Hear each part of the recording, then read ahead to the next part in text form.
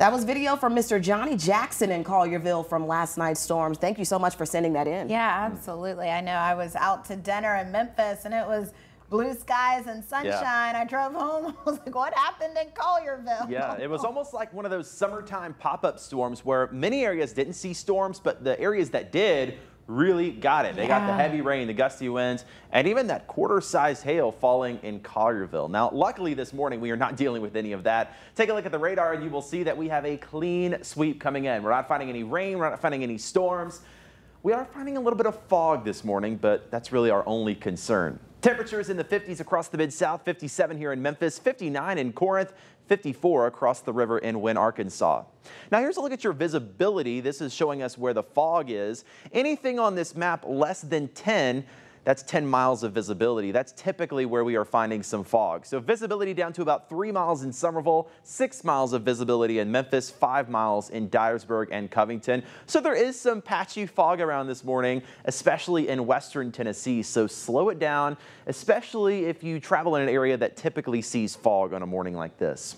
As far as today goes, we are seeing clouds and fog this morning. We will see a couple of peeks of sunshine later this afternoon with temperatures getting into the low and mid 70s. 70s. Tonight looking good too. It is going to be a cloudy night, but no rain is expected. Temperatures will fall to around 57 for your Saturday morning.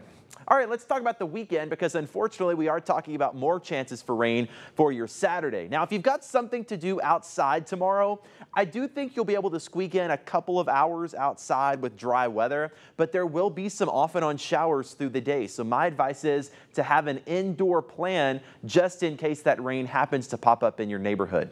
We'll see showers continue into Saturday night, but Sunday looks great. Sunshine, breezy, and a little cooler with temperatures in the 60s.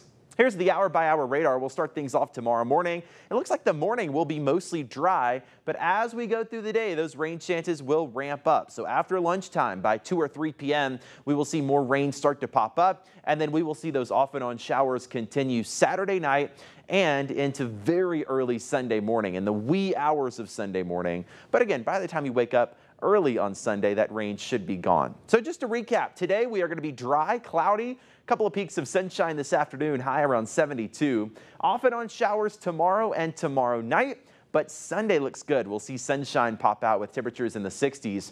Monday looks good too, sunny and breezy, highs closer to 70. We will be in the 70s for the middle and end of the week. Sunshine Tuesday and Wednesday. Some more clouds on Thursday with a slight chance of showers Thursday evening.